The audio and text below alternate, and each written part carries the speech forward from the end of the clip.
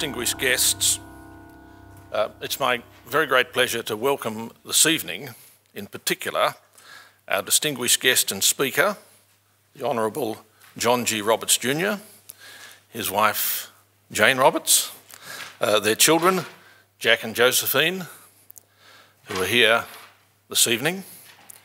The University extends again a warm welcome to the Roberts family. Um, it's an honour for the law school to have you back, sir. Thank you for being here. The James Merralls Fellowship in Law was established by friends and colleagues of Jim Merralls to acknowledge the contribution that he made to the legal profession in Australia. The fellowship provides funding for an annual visiting fellow to Melbourne Law School by a highly regarded professor, lawyer or judge from abroad. Um, Jim Merralls was the editor of the Commonwealth Law Reports for a remarkable 47 years. And for about 10 years before he became editor, Jim was a reporter for the Commonwealth Law Reports. Jim's period of service as editor and reporter extended to about half the period since the establishment of the High Court of Australia. At the time of his death last year, he was a barrister in active practice at the Victorian Bar, having been admitted to practice in 1960. When John Roberts conducted his series of seminars on the Supreme Court of the United States in 2010, Jim Merralls was an attentive attendee. Uh, I observed um, over many years that Jim was a man of settled habits, and that included each morning catching a train from Box Hill after the rush of peak hour to bringing to chambers between about 9.30 and 10 in the morning. That was early enough for court, but not early enough for the Chief Justice's seminars. Thus it happened that Jim forsook family and took up residence at the Melbourne Club for the week of the seminars. So there was no risk that he'd miss a word. May I say a few words of introduction of the Chief Justice before I invite him and Carolyn Evans to begin tonight's conversation. John G. Roberts Jr., Chief Justice of the United States of America, was born in Buffalo, New York on the 27th of January 1955. He married Jane Marie Sullivan in 1996 and they have two children, Josephine and Jack. He received um, a Bachelor of Arts degree from Harvard College in 1976 and a Juris Doctor from Harvard Law School in 1979. He served as a law clerk for Judge Henry J. Friendly of the United States Court of Appeals for the Second Circuit from 1979 to 1980, and in the same office for the then Associate Justice Rehnquist of the Supreme Court during 1980. He was Special Assistant to the Attorney General, the United States Department of Justice, in 1981-1982, Associate Counsel to President Ronald Reagan, White House Counsel's Office, 1982 to 1986, and Principal Deputy Solicitor General, US Department of Justice from 1989 to 1993. From 1986 to 1989, and then from 93 to 2003, he practiced law in Washington, D.C. John Roberts was appointed to the United States Court of Appeals for the District of Columbia Circuit in 2003. President George W. Bush nominated him as Chief Justice of the United States of America and he took his seat on the 29th of September 2005. We're very grateful to the Roberts family and to you, sir, for agreeing to speak this evening. And at the end of the conversation, the Chief Justice will take some questions uh, from the audience, uh, mediated by Professor Evans. Please welcome the Honourable John G. Roberts and Professor Carolyn Evans.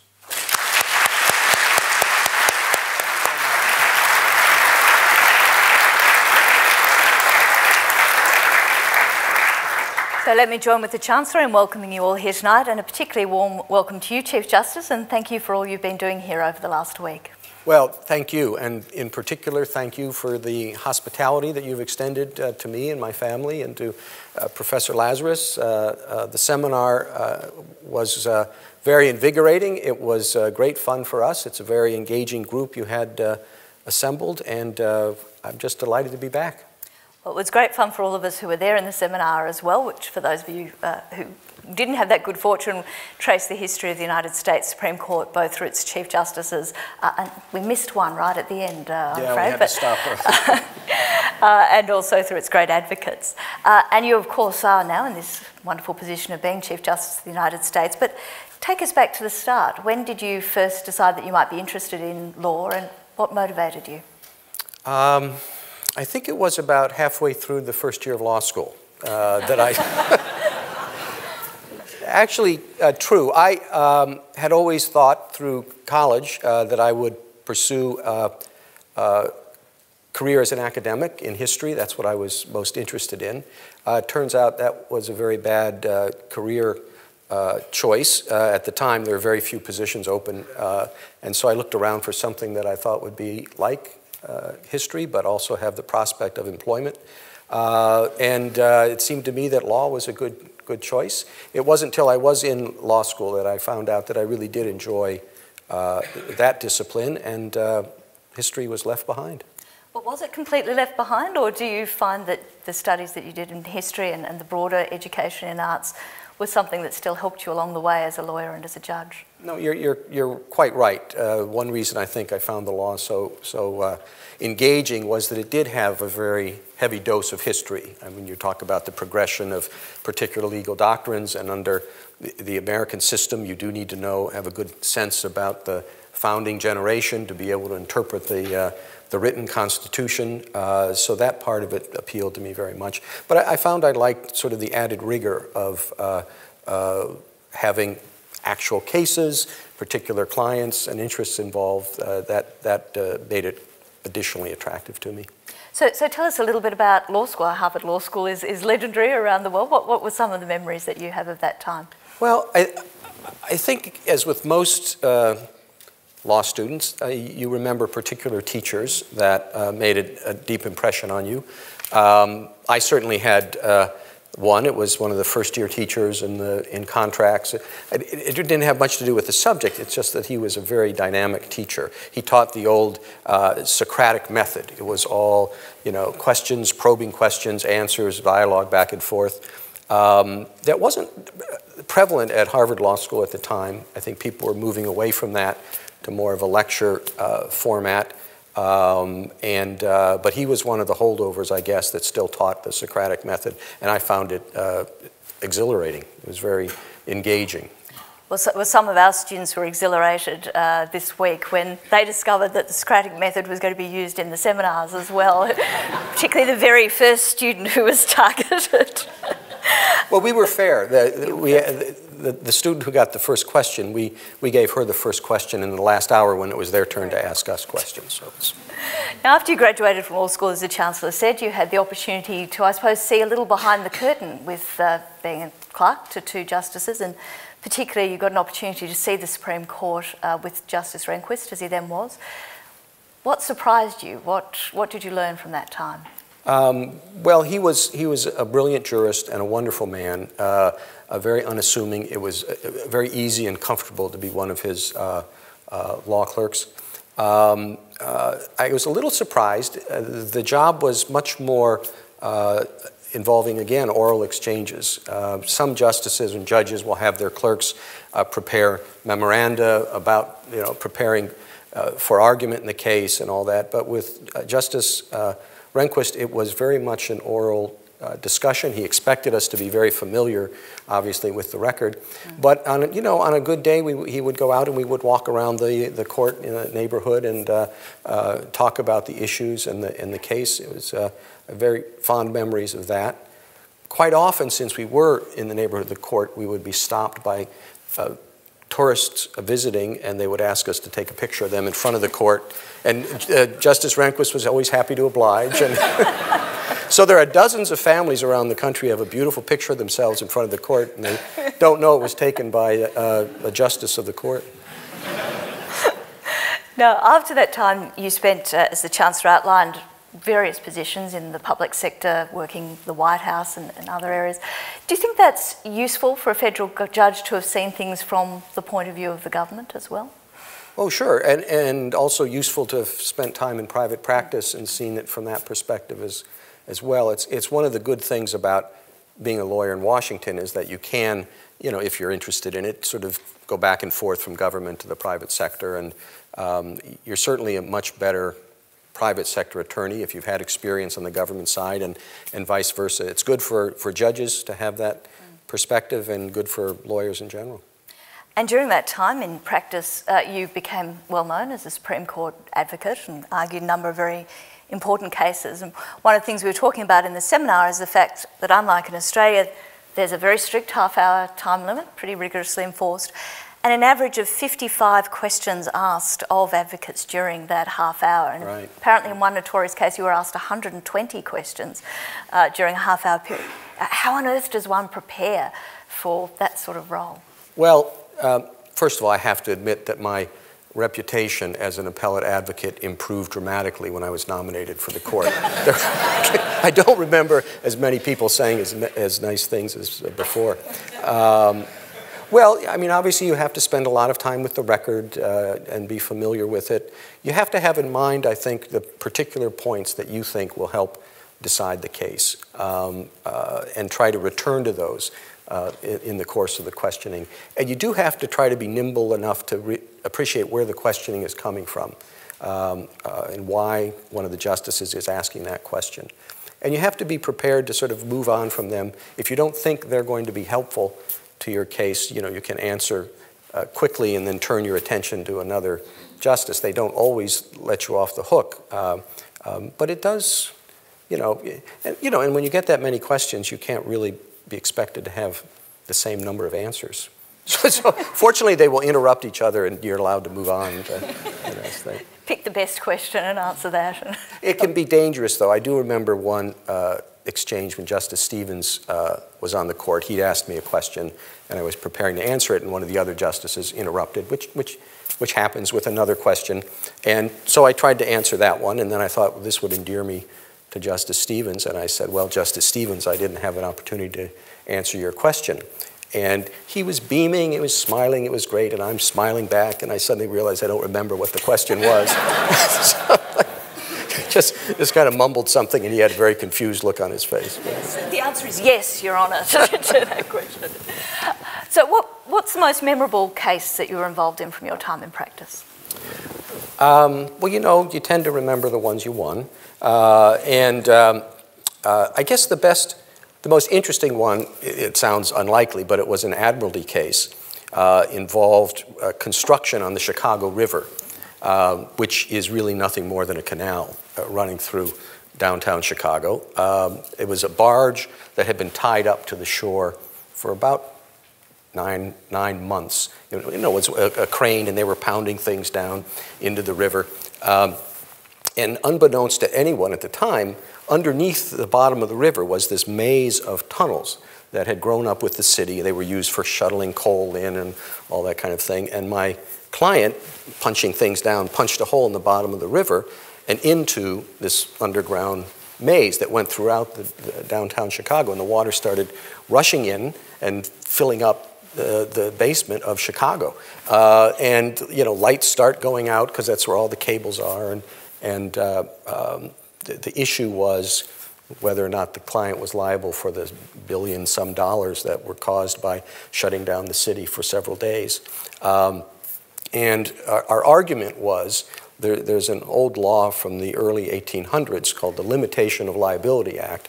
Stop me if this gets boring.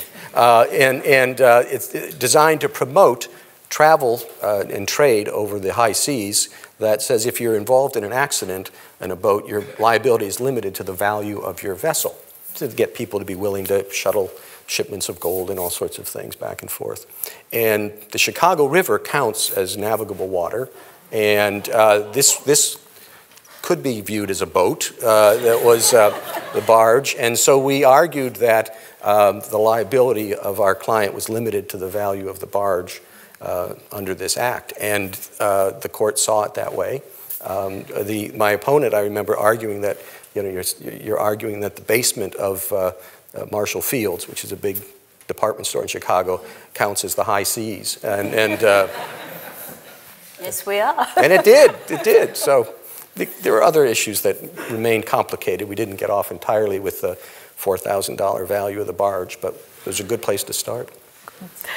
Well, you, you have an interesting practice, and one assumes a well paid practice, and yet in 2003 you decide to become a judge, and that's a decision that's quite a, a difficult one for people to make often. What made you think that it was important to take up that role? Well, um, by then I had been practicing for 25 years, uh, both in government and out, and both in government in the Solicitor General's office and in private practice. I've been arguing cases um, before the appellate courts, including the DC Circuit, and kind of thought it was just time for a change to see what it was like on the other side of the bench. Um, um, and I was very fortunate enough to have the opportunity to, to do it. And what was it like on the other side of the bench before you well, get to the Supreme Court? It was, um, it was hard uh, uh, at first. It, what was hard was making the adjustment. As a private lawyer, you're used to seeing the, the case and saying, okay, this is my position, I'm going to advance it, and you see things from that perspective. When you say, okay, here are all the arguments, you know, why this, you know, barge counted as a ship on the ocean and why, and, and when you get to be a judge and you go through the questions and they analyze it and you figure, okay, this is the right result.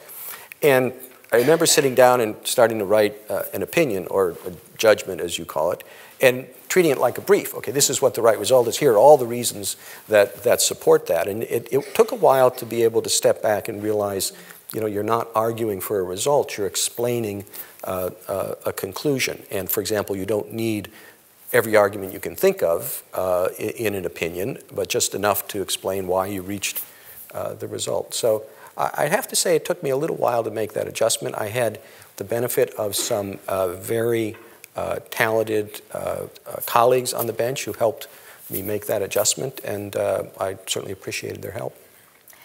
Now, one of the other aspects of becoming a judge, and perhaps thinking now particularly about 2005 and, and moving to the Supreme Court that looks very foreign and a little bit challenging to Australian eyes is the confirmation process. Uh, and it's something that we've heard a number of judges from the US, uh, indeed in this law school over the last year, raise some concerns and criticisms about the way that it happens. If we could give you a, a magic wand, constitution doesn't matter, popular opinion doesn't matter, politics doesn't matter, what do you think would be the very best way of selecting justices for the United States Supreme Court? Um, well, it's an interesting question. I, you know, uh, for trial judges, um, I think I'm right. It was the, it's the Scottish system, isn't it, where they, or the old one anyway, where the lawyers would elect the judge, and you thought that would guarantee the best because they'd want the best lawyer out of the competition, so they would make uh, make him the judge. Um, I don't think that works at an appellate level or the Supreme Court level. I think the system that the uh, the framers of our Constitution set up uh, is a very good one. I don't think it's being implemented very well uh, in practice. Um, I'm pretty sure that the, the founding fathers did not intend the confirmation process to work the way it has worked. Um, you look at the most recent, well, going back in history, uh, uh, my departed colleague, Justice Scalia, I think he was confirmed unanimously. you know, maybe there was one or two or 98. Um, uh, my current colleague, Justice Ginsburg, the same.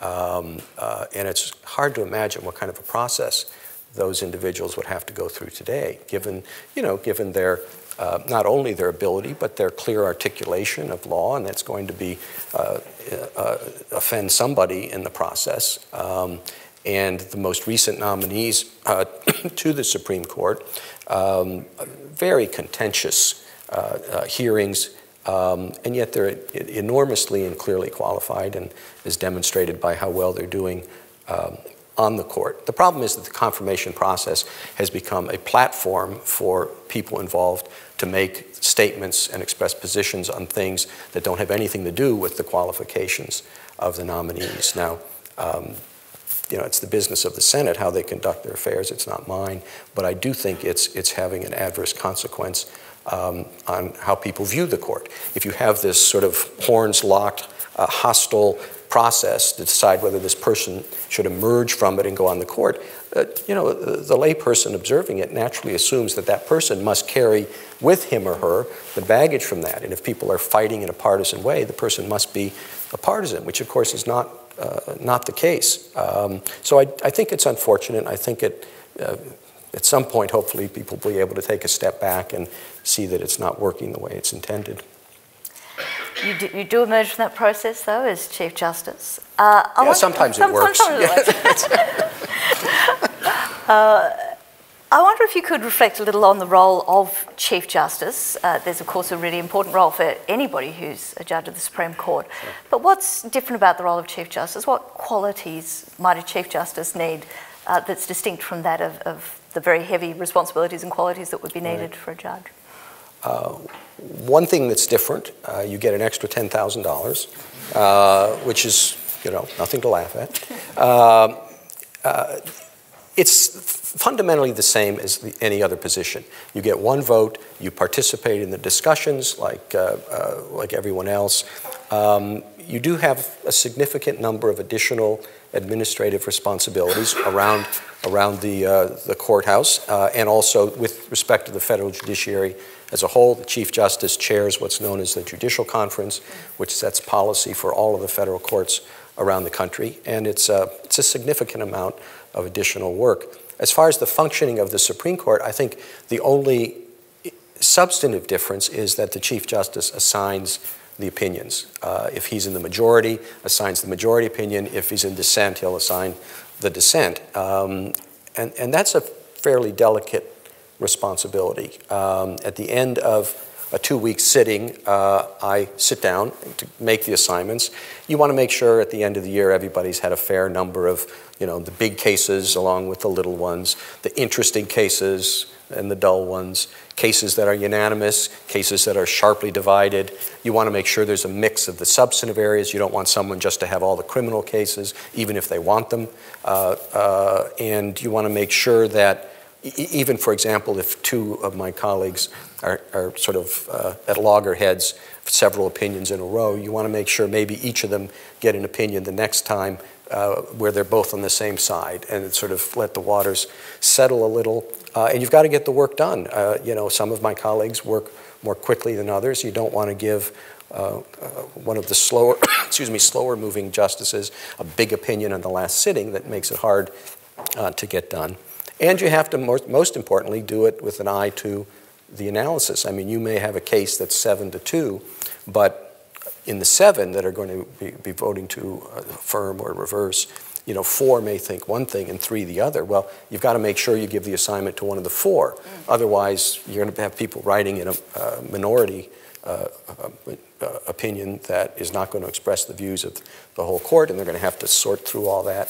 So um, uh, it's like, I don't know if people still have them, the old Rubik's Cubes. You know, as soon as you get everything lined up right on one side, okay, everyone has a good mix of unanimous, not unanimous, then you look and no, no, it's not, everyone's, so-and-so's writing just constitutional cases, so you have to switch that around and that. So, you know, it's kind of um, satisfying at the end of it's a Friday, at the end of that Friday, if everything fits together well. Um, I remember doing that one time when I finally got everything organized and was ready to go, and then I realized, oh no, I thought so-and-so voted this way in the case and it voted the other way. It, it, rather than trying to readjust everything, it was worth a phone call to ask her if she could change her vote. But it, it, didn't work, but you know, no harm. No harm in asking. Well, perhaps moving then on to, to some of the substantive issues that the court deals with and, and understanding, of course, and this will be important for question time, we won't talk about particular cases. Uh, but Australia doesn't have a Bill of Rights in its constitution, as you know, and the US has probably the most famous Bill of Rights in its constitution mm. in the world, and, and your court is regularly engaged with it.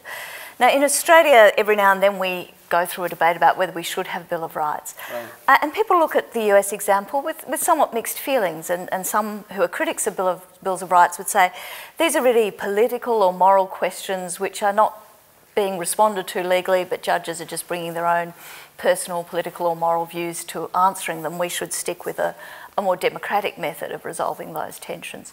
From the experience you've had as a, as a judge, as an advocate, as a citizen, what sort of response would you have to some of those concerns?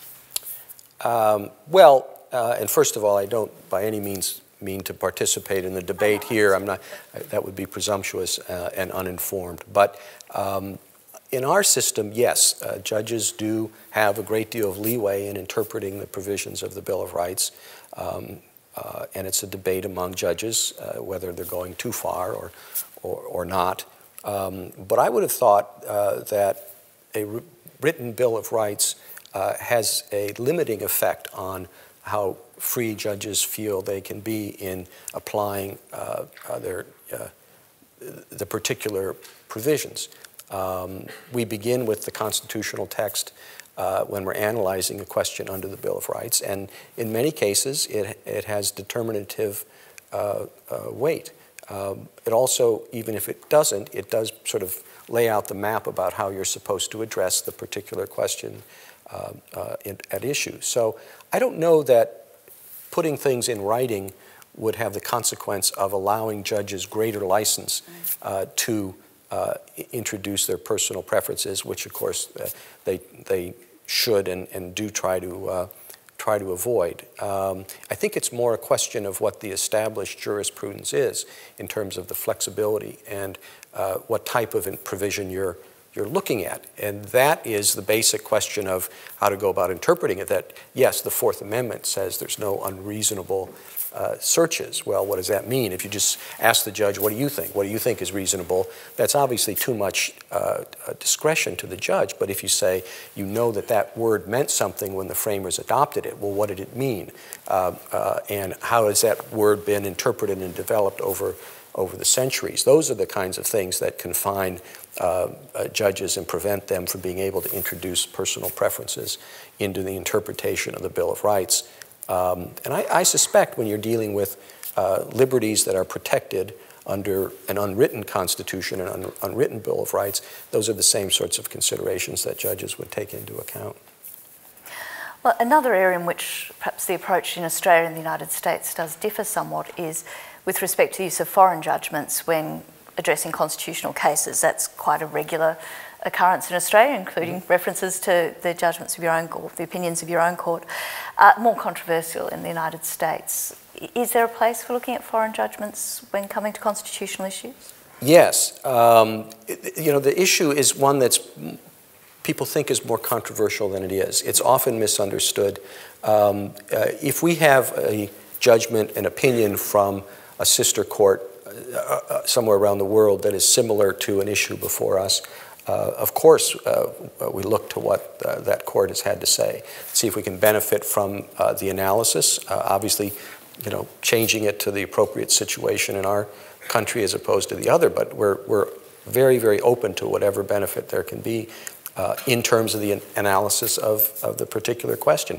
The area that becomes difficult for us is looking to foreign judgments to give not uh, guidance to how we would interpret or analyze a particular question, but to have a substantive effect on the actual analysis. It comes up most frequently uh, in the area of capital punishment, for example, where uh, under some analyses our uh, uh interpretation of the Eighth Amendment ban on cruel and unusual punishments uh, will, will derive, uh, in some justices' view, content from what other countries have to say about it. In other words, a, a court in another country will say that this constitutes a, what we would call cruel and unusual punishment. And then that is looked to not for the value of the analysis, uh, but as a substantive data point saying, well, it probably is cruel and unusual punishment under our Constitution because another court thinks it is.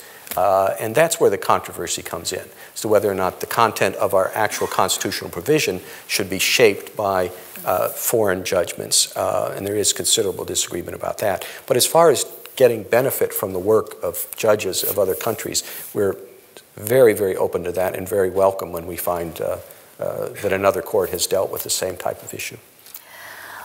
Well, in dealing with some of these complicated issues, one of one of the interesting points is who is on the court, and one of the issues that you've raised is that we now have very much a lawyers' Supreme Court. People have been practicing lawyers judges, mainly federal judges, uh, now Supreme Court judges. Of course, historically, that hasn't always been the case in the United States with a lot of people who'd had experience in politics and been actively engaged in politics. is there perhaps a mismatch between the very legal background that people are bringing to the court and, and perhaps some of the big political and moral controversies that the court deals with? Or is that in fact a, a useful thing to have a more legal lens to be looking at these issues? Um, the short answer is I don't know, but I do think it's an interesting uh, phenomenon. In the seminar, we studied uh, closely the court's decision in Brown versus Board of Education, and it's very interesting when you look at the court that rendered that decision. Of course, the Chief Justice is uh, Earl Warren, uh, who, when he was appointed, had been a candidate for vice president, three-time governor of uh, uh, California, um, a few senators on that court, a few attorneys general. Professor Felix Frankfurter and others, um, not intermediate federal judges. Um, when Justice Alito was confirmed uh, to the court uh, uh, on which I served six months later, every single one of the justices had been promoted from being an intermediate federal judge. That's a very different personnel uh, uh, addressing these issues. Uh, and yet the constitutional issues that we are asked to resolve are of a similar order of uh, social and political significance as the issue in Brown versus Board of Education. So um, I don't quite know what the answer is, but, I, but things have changed. Uh, the, the issues are pretty much the same. The court that's deciding those issues is uh, very different. Um, uh, I do think it's something worth thinking about whether, um, uh, well, why is that? Why do we not have people of the political stature of uh, Earl Warren and Hugo Black and other people on the court today, uh, and instead have, um, with respect to my colleagues, very talented uh, lawyers? Um, it seems to me that you don't want a court that is simply replicates the political structure in the rest of the government. You're going to have, uh, I think it's good that a court be consists of individuals who are good lawyers. Um, but that may say something about the kind of issues they should be addressing as a general matter. Uh, if you're going to resolve, are these issues that should be resolved uh, in legal terms as a matter of law? Or should they be resolved in some other way? If they should be resolved in some way other than simply as legal questions, well, maybe they should be resolved by somebody else other than very good lawyers well, looking back over the history of the court, as, as I know something you're very interested in doing, as you say, a very wide array of people with quite different backgrounds. Is there anyone you particularly admire, look to for inspiration in your current role, acknowledging that the times are different now, but that you find the sort of principles or values that you admire? Uh, well, yes, and, and I think it's, it's uh, it's an easy question, at least for me, and I think it would be an easy question for almost anybody in my position. Uh, the great Chief Justice, John Marshall, uh, uh, is uh, a, a, very good model in a number of respects in terms of the way he uh, managed the court to the extent a Chief Justice can manage uh, the court in a very open way with his, his colleagues, an appreciation for their views. Um, during his tenure, most of the decisions of the court uh, were unanimous. Um, uh, and not because, if the history will demonstrate, not because the other associate justices just deferred uh, to whatever he wanted to do, although that might not be a bad thing, uh, but, uh, uh, but because he was very open to their views and he would come to some general agreement and people felt very much that they were part of the, part of the process. he was brilliant, he was personable, he was uh, hardworking, he had a very good sense and perspective about what the uh, role of the court was. Like so many of our founding fathers, and we lose sight of the fact, you know, he was uh, a war hero in the War of Independence and was heavily invested in ensuring that the experiment of American democracy uh, succeeded. Uh, uh, and he, he was a, a, a, great writer. It wasn't until the late 19th century that lawyers, for some reason, felt they had to write uh, in an impenetrable manner and use all sorts of whereas and heretofores. You can pick up his great masterpiece, Marbury versus Madison, and, and read it and understand what, what, is, uh, what is going on. So he's certainly somebody you would want uh, to look to as a role model, uh, uh and not in the sense that, oh, I want to, I'm going to be like that, uh, but someone um, who has a lot to uh, show you about how the job should be done. Wonderful. Well, we might take this opportunity to turn it over to the audience now. Uh, people could raise their hand if they have a question to ask. Uh, I'm going to ask you to say your, wait till you have the microphone, say your name, uh, an institution that you're associated with. We're then looking for questions, not speeches, judgments, uh, life biographies. Uh, and uh, while the Chief Justice is capable of answering apparently 120 questions in half an hour, uh, we'll take a small collection to start with, and we'll start here with Jennifer Batrouney. down the front here, please. Sorry, could you just wait for the microphone because we're we're live streaming. Chief Justice Jennifer Batrouney, I'm President of the Victorian Bar. Um, thank you very much for your talk today. Um, both in your country and in ours, we have had recent instances of politicians criticising the judiciary. Is that ever okay, or will it always undermine the rule of law? Well, uh, we're certainly not above uh, criticism. It, it's, uh, uh, you know, as we like to say, it's a free country, and, and people who don't like what we do are free to say that they don't, that they don't like what we do. Um, it certainly doesn't affect how we go about uh, our, our job. Um, uh, the founding fathers, in their wisdom, gave us life tenure uh, and protection against uh, diminution in our salary, and uh, that is a very liberating feature of the Constitution. So uh, judges go about doing their job with their attention to uh, uh, what they, they should be doing and are not uh, swayed by criticism, not dissuaded from doing their job by, by criticism.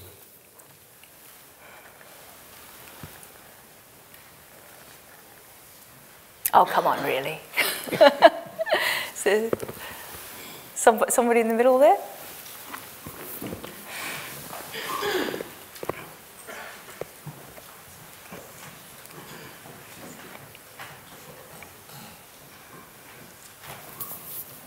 Hi, my name is Emily Rothfield. Um, I'm a former editor of the Melbourne University Law Review and I'm currently in private practice at Allens.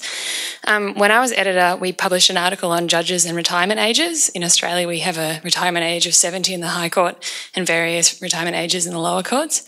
Uh, what are your thoughts on that, given that you have a life appointment? Well, I think uh, the life appointment's better. Uh, um, I appreciate that it, it, that our system is probably the minority. I think most uh, collegial courts have uh, retirement ages, uh, and I certainly understand uh, uh, why and the value of them. You know, uh, I guess anecdotally, I look at on my own court, if it was a retirement age of 70, we'd lose very, very valuable jurists. Um, I look at someone like Justice Stevens, who served uh, well beyond that retirement age and was uh, uh, active and contributing in, in very, very significant ways up until the time that he, that he left.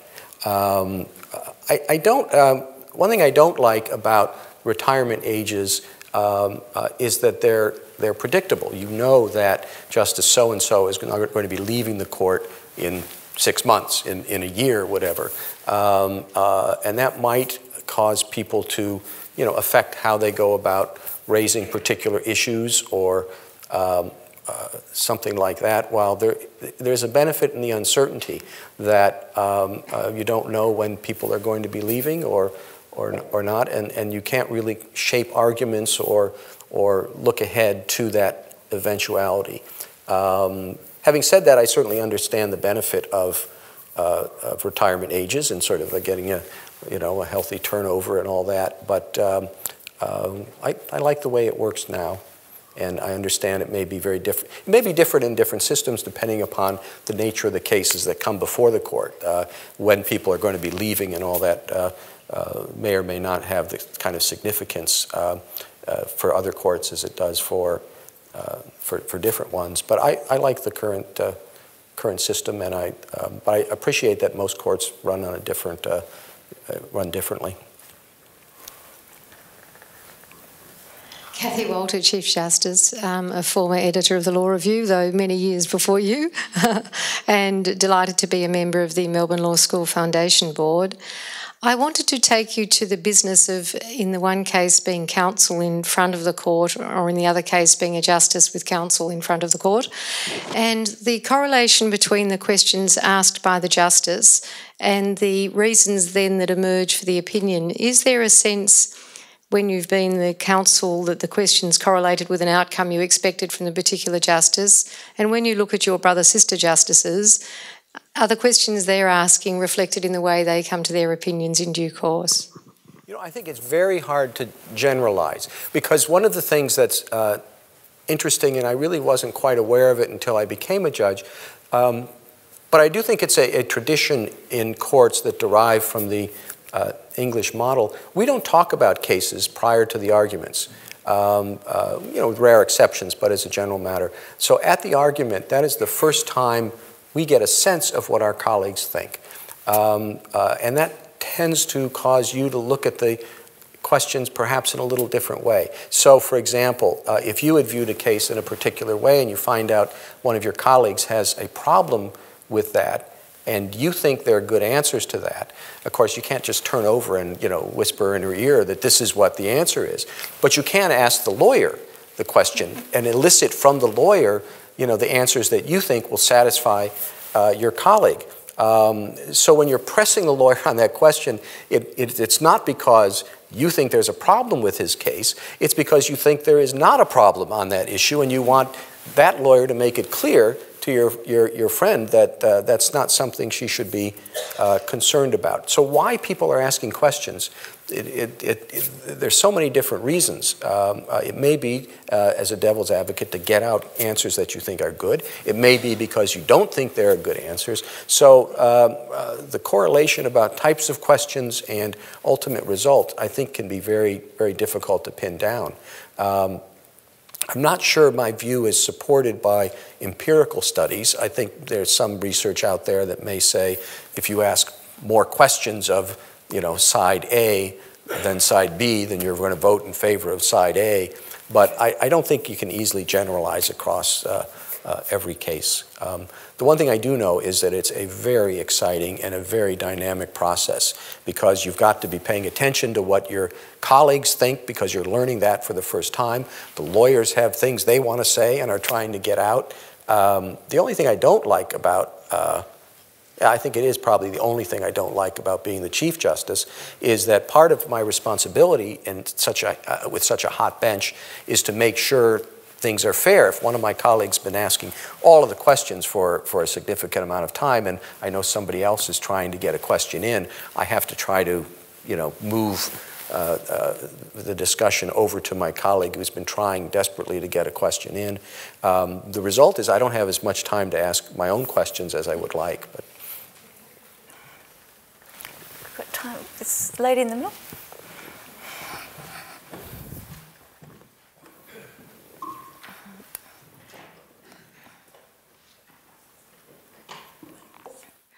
Good evening, um, Your Honour. My name's Peggy, uh, Peggy Goosa. I'm a first year JD student, so uh, very new to the law. how, how is it going so far? Really well, really like it. Yeah, thanks. You were my lecturer last semester. Um, um, I just wanted to ask, Your Honour, um, with the appointment of uh, Justice Sotomayor, there was a lot of discussion of uh, the benefit of uh, diversity within um, the Supreme Court um, in terms of the administration of justice, especially in a country as diverse as America. Um, and you've hinted in your discussion this evening about the having a distinction between um, a legal answer for something and perhaps some issues that don't um, shouldn't be answered in a legal way, but perhaps in another avenue, like a political, um, the political realm. And I was wondering, to what extent do you think diversity within the actual makeup of the Supreme Court is beneficial to the administration of justice, and to what extent do you think it disadvantages it? I think that uh, diversity is very important in the uh, uh, a court like ours, a collegial court, where you're trying to reach a decision based on input from a lot of different people.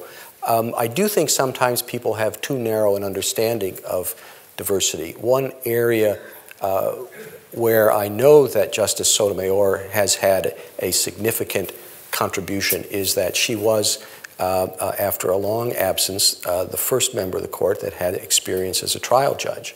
Um, that is something that comes up quite often. We're dealing with trial records, um, and uh, uh, she had uh, considerable has had considerable experience in the trial process. Um, and has offered and regularly does significant and important insights into how a record uh, that we're looking at, it's a printed record, this is what happened in the trial, but she gives insight into well, what was actually going on behind the, those printed pages. And that's a, an extremely important uh, uh, contribution um, uh, in a very practical and pragmatic way. Uh, judges, um, uh, their view of the law and their legal conclusions shouldn't vary depending upon their, their uh, uh, personalities, their ethnic background, uh, their geographic background. There is, of course, a reality that our views are shaped by who we are, and I do think that's important to take into account. But courts are not representative bodies. We shouldn't look to them and say, you know, you, you, you represent this country, this entity, and so you must, uh, in an individual way, reflect uh, the identities of that country. That's not what courts are supposed to be doing. And if they are, um, you know, you do have to wonder about the, uh, the process. It is at the same time, of course, true that our views and how we see things are shaped by our own experiences. And I do think it's important uh, that, that we have diversity in the courts to reflect that. Um, there are ways in which our court is, is extremely diverse, and there are ways in which it is not. It is, to me, um, amazing that uh, all the members went to, you know, two law schools. That, it's hard to imagine uh, uh, why that would be, and you think, well, that may not be a very good thing. It's kind of hard to articulate why it's not. Uh, uh, but it, I certainly would understand the notion that, well, surely there must be good lawyers at places other than Harvard or Yale. Um, uh, and, and, you know, hopefully we can find them at some point. Um, but but, but I, I, think the diversity of the sort I was talking about with Justice Sotomayor, uh, uh, I think it's easier to understand how that is, is helpful. Uh, uh because it is part of the legal process, and she brought a new perspective in that uh, regard. When you talk about other types of diversity, it's just kind of hard to understand or articulate beyond saying, you know, uh, how we see things depends upon where we're from and who we are, but how that translates into different views about the law, it, it's frankly hard to put a, for, put a handle on that, I think. Let's take one more question.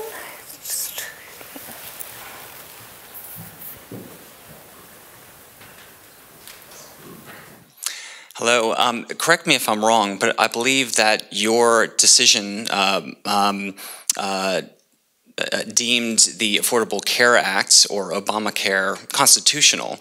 Are you able to expand on um, your reasoning behind that decision? Well, that's one I have a quick answer to, I'm afraid, and that's no. Uh, for, for a very important reason, um, that, which is that uh, one, uh, uh, one, once we write an opinion or, as I said, a judgment you have here, it has to speak for itself. Um, I could tell you, well, this is, you know, what I meant, or this is how I was saying, this is what I had in mind.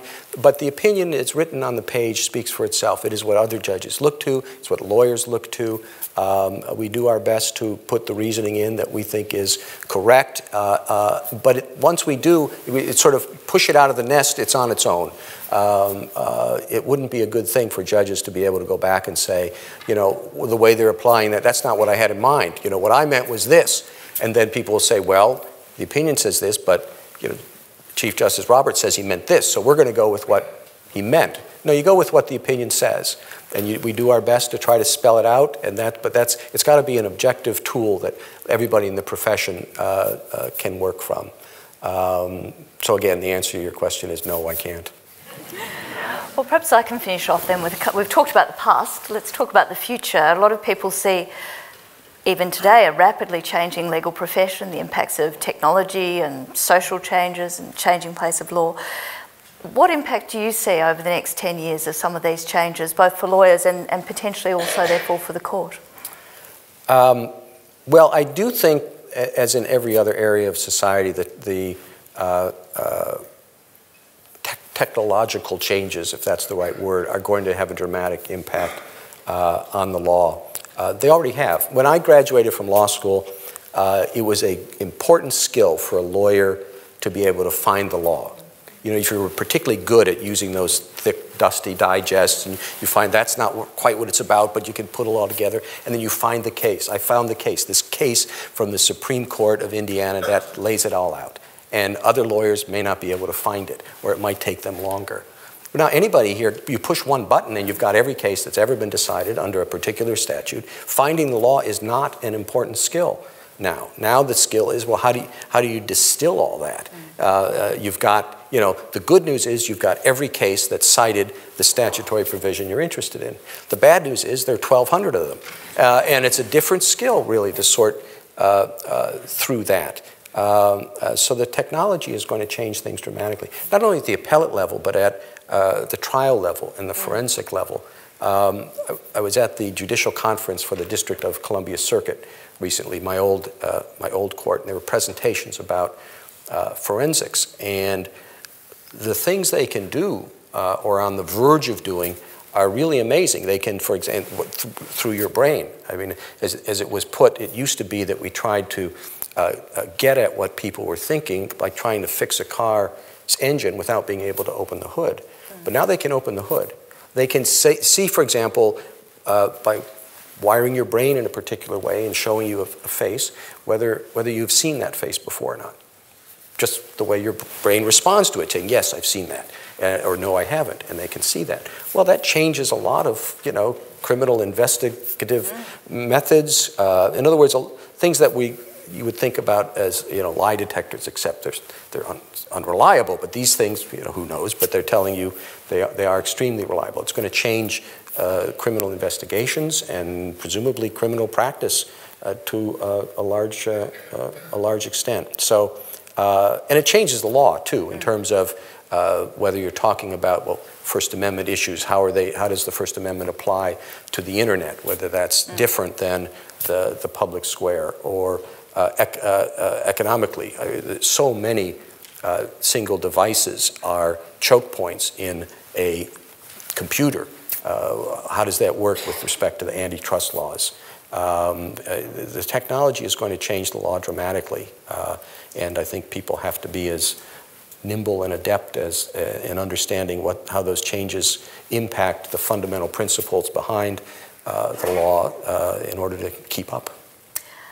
And that perhaps brings me then to my last question. Of course, we have many law students and recent law graduates here tonight facing a somewhat more uncertain future. But what advice do you have for those coming into the profession or, or about to come into the profession in the next couple of years? Oh, um, I don't know that I'm anybody with any particular insights uh, in, into that. Uh, other than I will say uh, that I think, at least when I was going into law school, a lot of people went to law school because they couldn't figure out what else to do. Um, I, I, suppose it was true in my case. Uh, fortunately, it turned out when I got there that I really, uh, really liked it. Uh, at least in the United States, I think a lot of people get out of law school uh, and one of two things might happen. Uh, they never really wanted to be a lawyer, and so they're going to be unhappy uh, at it. or they, they don't remember why they went to law school they're doing something else. You know, if you went to law school because you wanted, you thought that was a good way to promote uh, environmental justice and that was very important to you, uh, you should keep that in mind when you get out of law school, as opposed to going down different career paths that aren't going to allow you to do uh, what you wanted to become a lawyer to be able to do. Um, no, it's hard. You know, the, the, uh, the job in the env environmental area may not provide as much compensation as another job, and you people you need. Uh, you have responsibilities other than simply uh, being satisfied in your job. But uh, there are too many unhappy lawyers, uh, uh, again, at least in the United States, and it's because they forget why they went to law school in the first place, or they don't sit back and say, well, maybe I shouldn't have gone to law school. But if you're going to make it a career, uh, make sure it's something you're really committed to, and then, you know, it should be a good choice. Well, it's a wonderful note on which to finish. You've been very generous with your time and your insights. Could I please call on former Dean of the Law School, Professor Michael Crommelin, to offer a vote of thanks on behalf of everybody tonight.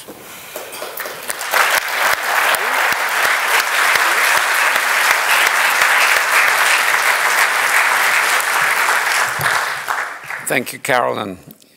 Chief Justice, Chancellor, Dean, distinguished guests, one and all. As you know, it's been a big week in the law school. First, with the remarkable seminar series on the Supreme Court of the United States in historical perspective, and now the James Merralls Lecture. The seminar on the Supreme Court demonstrated how, in the space of just over 200 years, the court evolved from a weak, fragile, almost insignificant component of the federal system of government in the United States to the robust, resilient, respected body that it is today. One of the uh, significant elements of that remarkable evolution is that the Supreme Court has the constitutional responsibility now unchallenged for determining the limits of power of governments, federal and state, and of their branches, legislative, executive, and judicial. This is always a challenging task, especially so in times of political upheaval and crisis when inevitably it becomes mired in controversy. It's surprising to us, perhaps, that there have been only 16 Chief Justices of the Supreme Court of the United States, several of whom made outstanding contributions to the evolution of the court, beginning notably, of course, with John Marshall, to whom the Chief Justice already referred tonight, John Marshall, the fourth Chief Justice who held that office for an amazing 34 years from 1901 to 1935. The course provided a penetrating and intriguing analysis of these contributions by Chief Justices.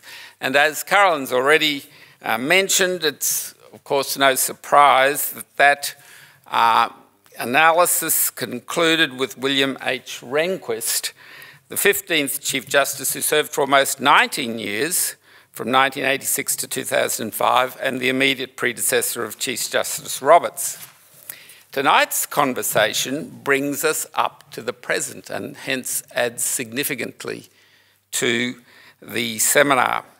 The 16th Chief Justice has provided us with his personal and highly informative reflections on his legal career generally, remarkable legal career, but particularly on the 12 years since his appointment as Chief Justice.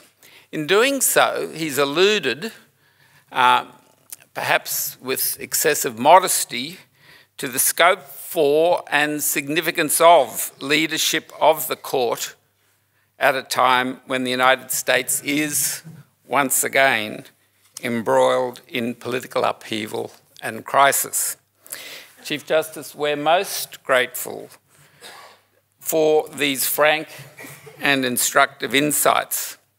But that's not all. We're also reminded tonight that the High Court of Australia stands in a rather similar position to that of the Supreme Court of the United States.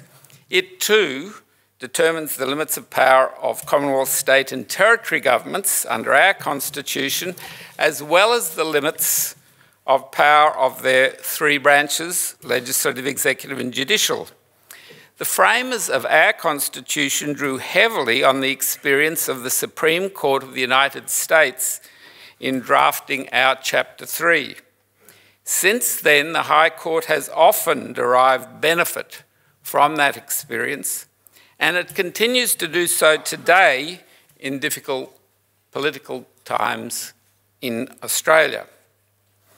Ladies and gentlemen, please join me in conveying our warmest appreciation to the Honourable John G. Roberts Jr., the 16th Chief Justice of the Supreme Court of the United States, both for his visit to the Melbourne Law School this week and especially for this most engaging and stimulating James Merralls lecture. Thank you.